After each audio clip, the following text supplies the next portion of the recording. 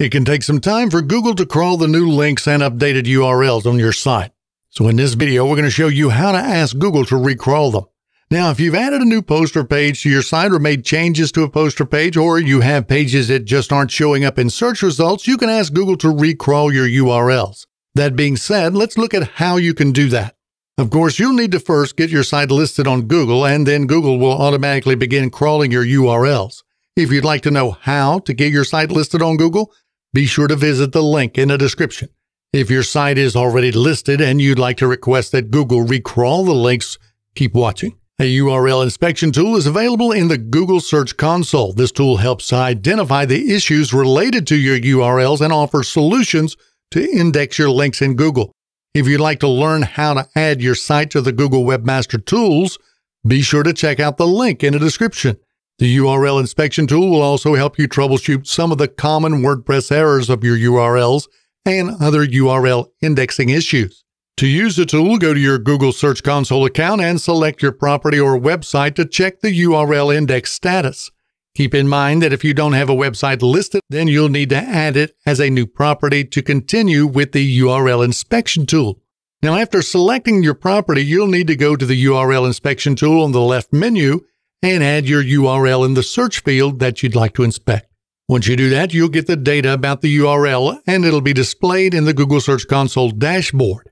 If your URL is on Google, you'll see a success message with some helpful information about your link. You can expand the findings and see if there are any other issues that need to be solved. If not, then you'll see the submission request from Google to recrawl and index your URL. However, if the link is not on Google, it'll show you the errors and a possible solution to get your URL indexed. You can solve the issues and inspect the URL again until you get the success message. Now, after that, a request is initiated to recrawl the URL. Simply repeat the same for all the URLs that you'd like Google to recrawl. Now, if you're unsure about whether Google is indexing your URLs, then simply submit an updated XML sitemap with your new URLs to Google Webmaster Tools. Sitemaps are the quickest way to get your new URLs indexed on Google. So for this step, we recommend that you use All-in-One SEO, which includes flexible options to properly set up your XML sitemaps in WordPress.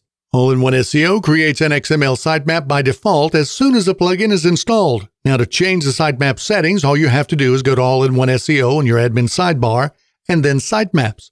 Now you'll see the XML sitemap setting is on by default. You can view your sitemap by clicking on the Open Sitemap button. If your new links are visible in the sitemap file, then you can go ahead and submit it to the Google Webmaster tool. To submit the XML sitemap, you'll need to visit the Google Search Console. Then go to Sitemaps on the left menu, add your XML sitemap link, and click on the Submit button. This updated sitemap will ask Google bots to quickly recrawl your new URLs and display them in the search results. Now be mindful of the fact that you'll only have to upload the sitemap once. Google recrawls your sitemap regularly, so it'll add updated posts quickly once your sitemap has been added. Now that's it for this video. Now you don't want to miss the opportunity to get MonsterInsights at a discounted price, so be sure to check out the discount link in the description. And to learn more MonsterInsights tips, tricks, and techniques, just click one of the videos on your screen now.